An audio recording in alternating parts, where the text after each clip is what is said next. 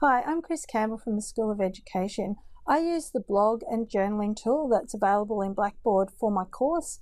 So what I do is the students actually have an assignment. It's called a blogging assignment, but I actually use the journaling tool.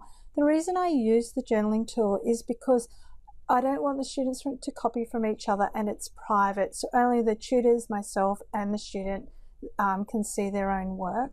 And I find that really quite easy to uh, use with the students and they actually have an assignment that's due. It's worth 60% of the course. It's a blogging assignment and they have to do at least six blog posts and there's actually set topics they need to do. It covers some of the theory of my course and they also need to include various types of multimedia such as images, um, video, they can include concept mapping and link to a learning object. So where they use it and how they use that and how they insert it is actually up to them.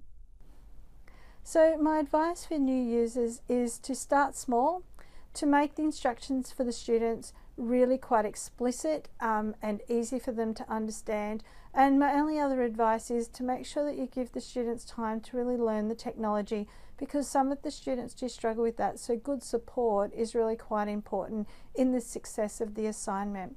Overall, I really enjoy using the blogging tool and I find that the students get a lot of practical experience using different kinds of multimedia as well as learning some of the theory from my course.